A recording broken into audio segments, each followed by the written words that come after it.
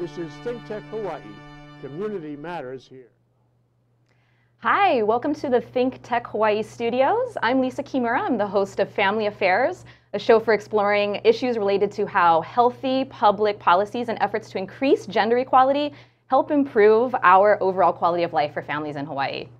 With me today is my first guest, Deborah Zysman, the Executive Director of Hawaii Children's Action Network. Hello. Welcome. Before we get started, I just want to note that the views and opinions expressed on this program are entirely my own and those of my guests, and do not necessarily reflect the official policy of any other organization, employer, or company.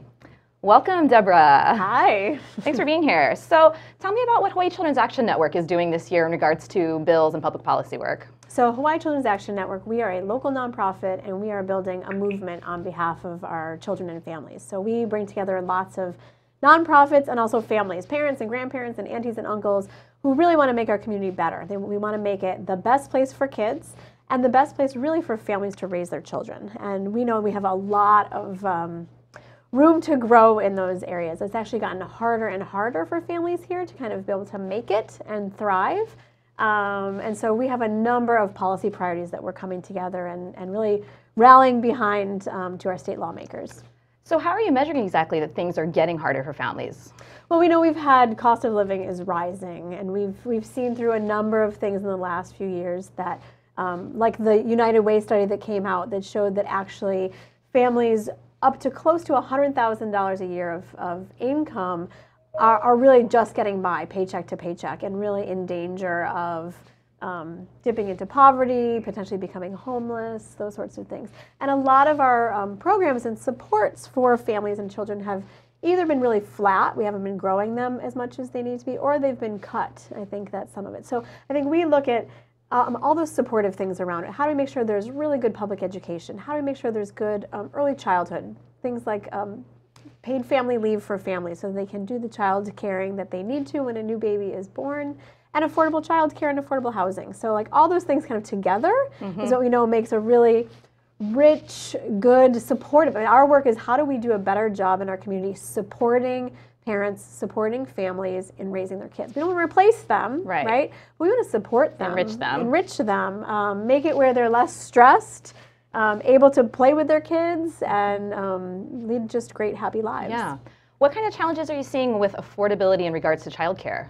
So it's been really getting worse. I mean, I think is the issue. So we, we did a whole study last year with University of Hawaii Center on the Family, taking a look at just um, where we have even childcare. So I think right now the average cost of childcare is about $10,000 a year. And for um, babies up to toddlers, it's actually more like $13,000 a year. So that is a lot of money. A lot of money, right? I mean, I, I'm a mom of two kids. They're both now in elementary school, but for a while I had two kids in childcare and preschool. Um, and at that time, my childcare and preschool bill was substantially more than my rent every month. And that was just astounding. I actually I had to ask family to, to help out. Um, and both my husband and I work. Um, we're kind of, you know, normal folks, normal salaries. I think that's the issue. Is a, a lot of families, thirteen thousand dollars a year for one child, is is really tough. I, I think is the issue. And we know families also can't really make the choice to stay home because our housing costs, for example, are so high. Um, we see families in Hawaii, most people in the family are at work. Right. Um, they don't necessarily even have grandma or auntie necessarily who's able to do full-time childcare because often grandma and auntie are still working one, two, multiple jobs yeah. to kind of make things work. So um, what we know about childcare is we don't have enough of it. Um, it's tough here in Honolulu, but it's even worse out on the neighbor islands. Um, so across the state, we have about one child care spot for every um, four kids. So that's not nearly tough, enough. not yeah. nearly enough. But then when you get out to um, the babies, it's even worse. We have fewer and fewer. So at any price point. So even if you can afford to pay a huge amount of money, there's not child care providers. Um, and our child care subsidies and our public preschool program have been growing, but slowly. They've not been keeping up with the pace of, um, we've had more kids being born in mm-hmm. the state, so mm-hmm. they're not really keeping up. So they're growing, but they're growing slowly, I would say.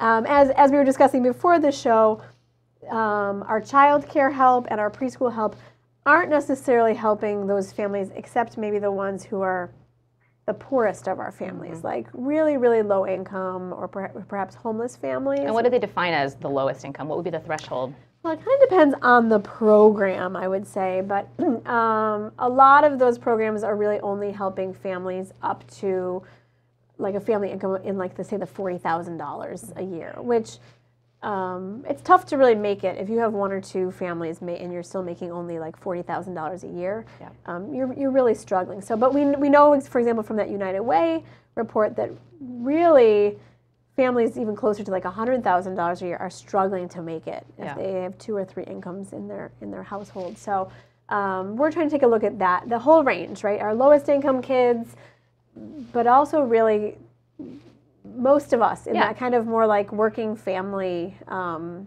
place. Absolutely. And it's tough. Our minimum wage is still pretty low, Mm-hmm. right? So um, we, we know salaries are not necessarily at the same rate if you were like in San Francisco, where you have a lot of people making a much higher, higher um, income level. So, what kind of bills and policies is HCAN focused on this year to try to address that? Yeah, we have a few different things. So, um, childcare and preschool are big focus for us. That's been a, a huge amount of work. We just know it's been a, a struggle for a long time. So, we have a, a new coalition of families and organizations that are coming together, and they're really working on a couple of things. So, one, we are advocating for more money to keep growing our, our quality public preschool program. So that's been growing in the last um, three, four years. So we've seen, um, we have 22 of our uh, public elementary schools now have a preschool classroom, and 18 of our charter schools have that. So we are actually asking collectively for uh, probably about $40 million of new money to keep growing that,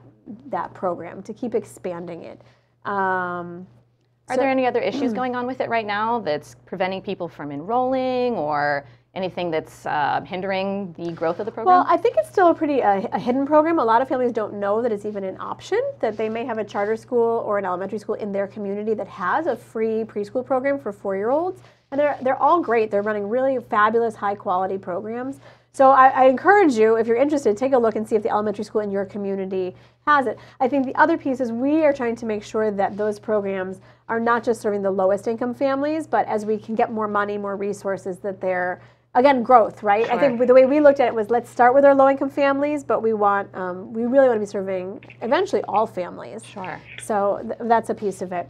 Um, and then childcare, I think that that's a really four year olds. We're seeing more four year olds in like more of a school setting, but we know people have babies.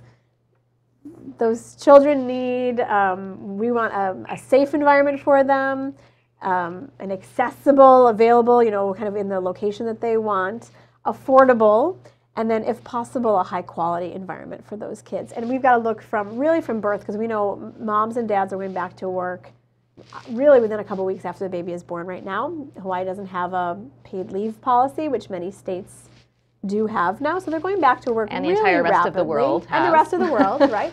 But a lot of moms, including me, are you know, I went back with both my kids when they were like five or six weeks weeks old.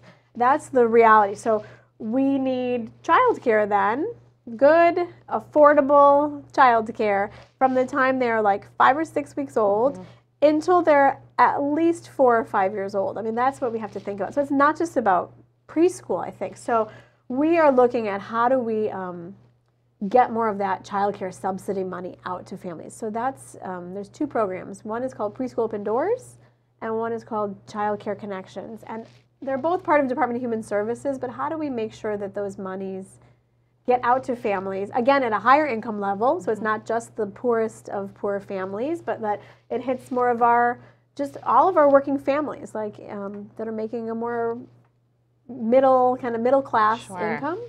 Um, and then it's enough money. So we hear right now the there's a sliding scale right now in Hawaii, and for some families they're getting only a really small amount. They're being offered like here's fifty dollars off your child care bill, which is just not enough. So No. how do we make sure that it's enough money that folks can actually get out there and find, you know, how, how do we make it where it's $800 a month, not $50 a month, so that you can really take take kind of that that subsidy money and and buy childcare. But I think we're also looking at how do we how do we get more people working in the field? That's that's an issue. Like even if you have some money, depending on the community you're living in, there might be no place to take your child, right? So what are we going to we're kind of grapple. Honestly, that's a tough question, and that's a nationally. It's like how do we, um, frankly, some of it's pay providers more, Mm-hmm. right? Um, other countries do much more than how do we value that kind of work? Right. It's often provided by women. Mm-hmm. How do we make sure that they are being paid good wages, that um, a job that are livable for them. that are livable for them, that a job providing childcare, doing that important, important work of early education is compensated appropriately um, so that it's a desirable job to go into and stay in and that it's important. Yeah. Um, so we need to be paying those providers more, but we, we have to figure out a way to do it where we're not charging the parents more because parents are already like outpriced. Right? Sure. They can't afford it as it is. So how do we, you know, we're looking frequently at, at government money. So instead of making parents pay and providers working like slave wages, how do we get government to pay for good quality child care? Um, Well, and what do they say? The investment in early childhood is like a 17 to 1 return. Yeah, depending on which study you look at, it's a huge. We, we know that those early years are the period of the most brain development and rapid development. And anyone who's had children knows that your kids are like crazy sponges at that age. So it's critical. That's that's the quality piece. We want to make sure kids are not getting plunked in front of a TV all day, that they're getting like rich, you know, they're being read to and sung to and played games with and all that kind of rich early childhood um, learning that we want them to have. Um, and it's also an economic driver. There's been tons of research done that if you have good child care, that enables people to get to work um, and reliably, right? It means you're not missing days of work because, oh my gosh, I have 12 sitters that I piecemeal together and this one called in sick, that you can get to work reliably, that workers are less stressed out. They, they can focus on work because they know that their child or children are in a good, Being safe, well quality, for. right environment, right? So that, and especially for women, we know that's a huge thing that help that um, this sort of perpetuates the inequities that we see is that frequently it's women who feel that they have at the end of the day the responsibility for for the children and the child care and if there is not good quality affordable child care in their community they might feel that they need to drop out of the workforce um, even if that poses an extra economic hardship on their their own family too so it's like if we want women to be sort of rising up the the career ladders as well and in the workforce in meaningful ways you've got to have childcare Right. Right. And to be able to stay in the workforce and be able to advance your own career without sacrificing your opportunities. So we need it. I think more and more countries, and frankly, more states across the nation, are looking at childcare more as infrastructure. I don't know. That sounds a little bit crass, right? Because it is about kids, and we want our we want our kids to have the best, and we should be doing a heck of a lot more to demand that. But it's also part of this infrastructure, just like just like you need good transportation and roads for people to get to work. We need childcare for people to get to work.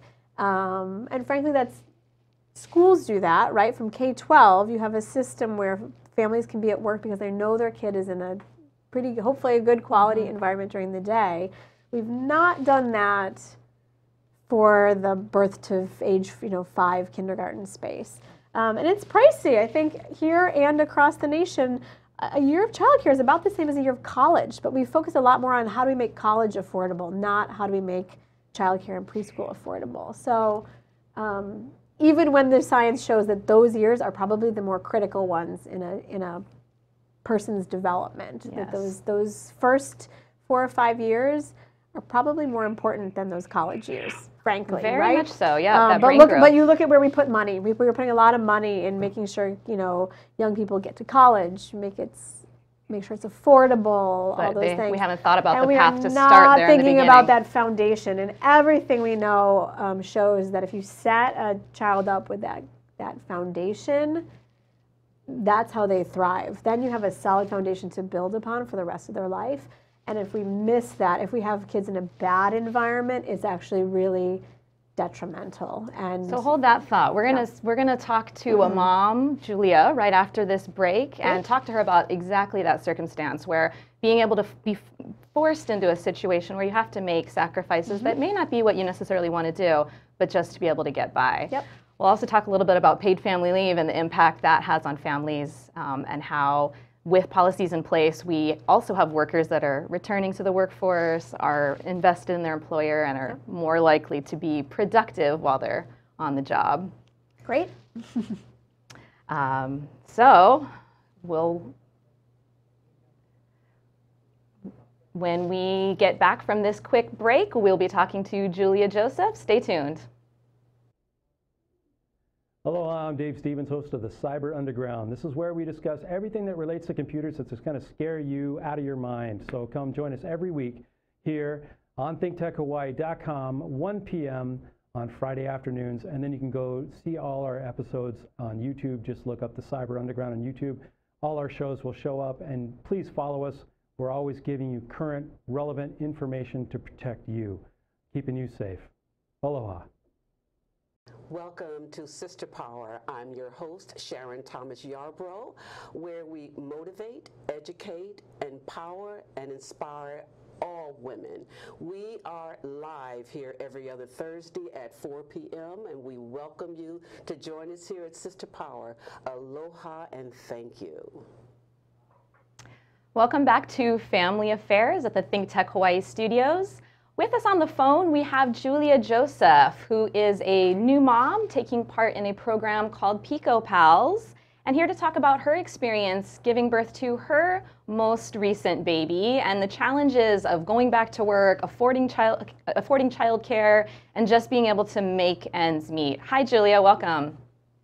Hi, ladies. Thank you for having me. Thanks for being here.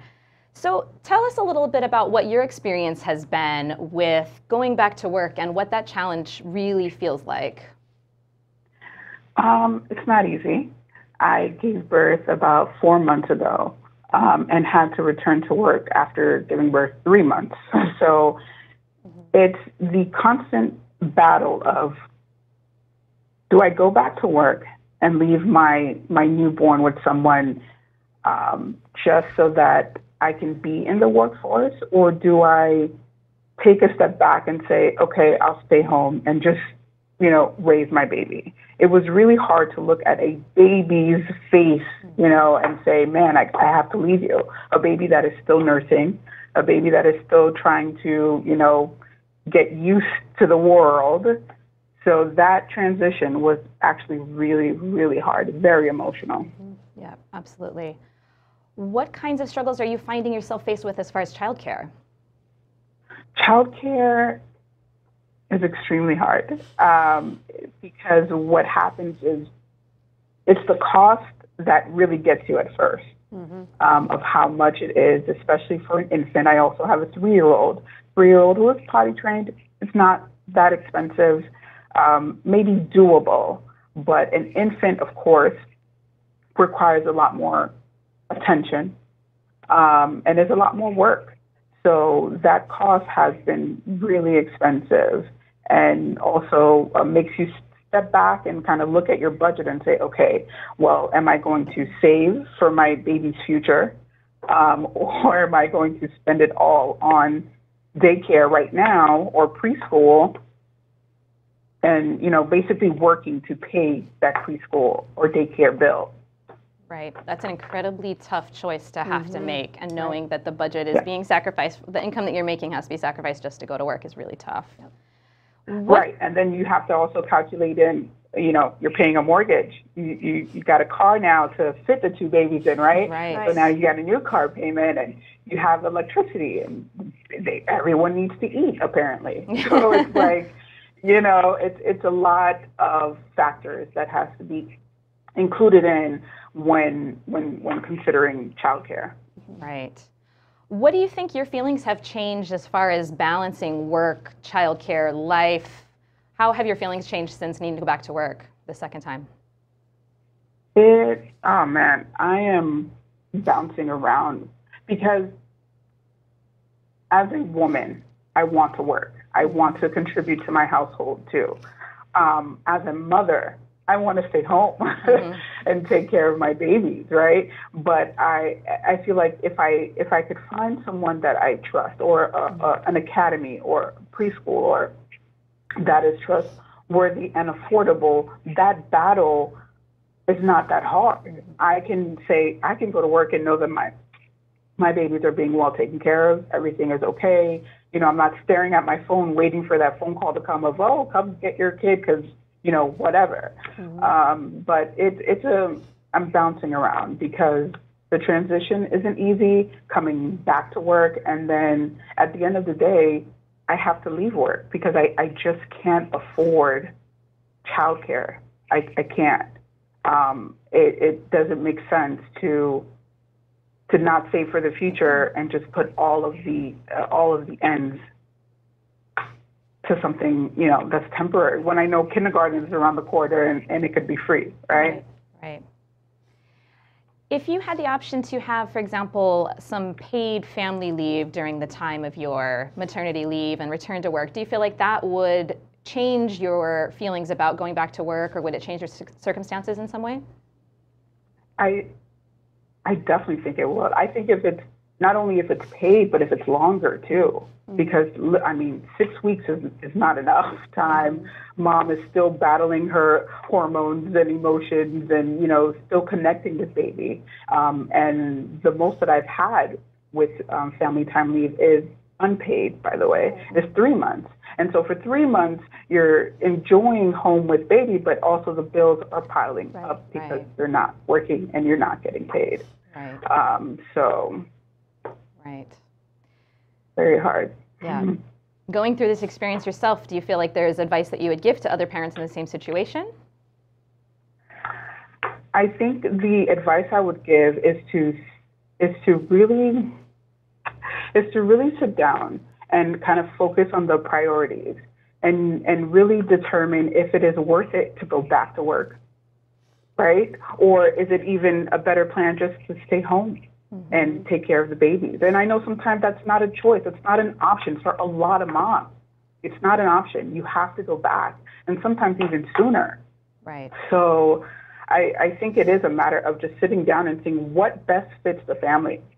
Um, like Deborah said, you know, sometimes auntie and grandma can't can't watch them, and then now you're in the process of interviewing, which I've been, um, interviewing other people outside of the family and, and seeing if they can be trusted, right? And then there's also availability. You may be ready to go back to work, but the preschool or daycare may not have that time, you know, for enrollment. That's so it's a lot of sitting down, planning, kind of getting ahead of yourself. As soon as you know you're expecting, I would suggest putting your name on all the lists for daycare because mm-hmm. the wait list is also a factor.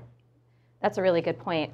Deb, what kind of challenges are we seeing as far as provider availability? Do you have specifics on that? Well, I think nationally and in Hawaii, we are actually seeing fewer and fewer childcare providers, especially for the babies and the toddlers. And mm-hmm. no one's quite sure why that is. I personally think a lot of it has to do around the horrible pay. Mm-hmm. Um, the, it's hard work. Mm-hmm. Anyone who's taking care of kids knows it is easy at all. exhausting work. People work long hours. Um, they often do it because they love children, um, but it is it is not a lucrative career. And I think right now, especially in communities like Hawaii with low unemployment, there's there's maybe other other choices, other things that those folks can can do. But I think, like we heard from Julia, I think our our community is putting families in a really impossible situation. Um, we're not supporting family choice. We're not supporting families who want to stay home and do caregiving, and we're also not helping them get back to work by providing them good, good childcare options. So, you know, it's, it's this sort of horrible, um, horrible choices that we have. Like Rock and none of them are good all the time, yeah. None of them are good choices. Um, and I think it, you know it used to be that you could have a family getting by with one income. Even in our community, that used to be the case. You could have one person out uh, earning money and the other parent perhaps being able to stay home. That is generally not the case anymore. Um, and so, what are folks supposed to do? I, I mean, I do think it's also here and nationally we're seeing people delay having kids or choosing not to have kids at all and lots of times they will say it's because of the economics they um, housing costs are high people have crushing student debt um, they just don't think they can afford to have kids which is not just sad but i think also a kind of a dangerous place to be going as a as a society Well, and we see what's happening in Italy and other places where the birth Yeah. rate's falling, and there's it's, major it's, economic there's major economic implications. If, if as a community we are making it impossible for people to have children Right. which is kind of what we're doing. We're not letting them stay home because we're not providing paid leave. Um, we're not letting them go back to work because we're not providing affordable child care so what are people supposed to do Right. We've got a couple couple minutes left in the show. what would you say would be big wins for HCAN and for the state of Hawaii, really, this session? Yeah, well, we, we are continuing to work on paid family leave as well. I think we would like eventually to see um, at least 16 weeks of partial pay. So maybe not your full paycheck, but enough of your pay that you can stay home and keep paying the bills, right? As Julia said, the bills start piling up. Right. Um, and you know what? Some people argue 16 weeks is not enough, but right, I would say it's it's better than nothing. It'd be a good start. California just started talking about six months. Fantastic. Other countries have a year or 18 months. and parents can serve those consecutively, so you can Right. have two or more years Right. home with your child. and not just moms but dads too Exactly. right so we, we want to encourage that we want to encourage families to stay home in those formative years but not um, drop into poverty because of it. Not have to max out their credit cards or drain their retirement funds um, be able to keep paying the bills. And i think we need to really fight hard to make sure that we have more affordable childcare that we're putting out. We're, we're helping to pay for more childcare for more families. And real quickly, as we're wrapping up, any kinds of cultural shifts that you think that we need to undergo in order to be more supportive of families? I mean, I I think that's a big that's the big one. A, it's about moms and dads, right? I think we want more dads doing caregiving, or Right. dads doing child care. So it's for us the maternity and paternity leave, um, and I think acknowledging that women are in the workforce. Um, and, they wanna stay in and the workforce. stay in the workforce, and we all want that as a community. But to do that, we need to be supporting good, affordable childcare um, across our state. That's Wonderful. what it takes. Wonderful. Well, real quick, too, how can someone get involved in those efforts? So if they want to check out our website, um, it's hawaii-can.org, and you can sign up. We have a whole growing parent advocate group um, that comes out and helps you know send messages to your lawmakers to say we, we need childcare, we need paid leave, we need these things. So that's the best way. Wonderful. well, thank you for joining me, Deb. Julia, thanks for joining us via the phone. Thank we- you for having me. Thank you so Wonderful much. conversation today. Lots more to work on. And please uh, come back again and we can talk some more about what's going Great. on this session. Um, again, thanks for being here. I'm Lisa Kimura. I'm the host of Family Affairs on Think Tech Hawaii, and we'll see you next time.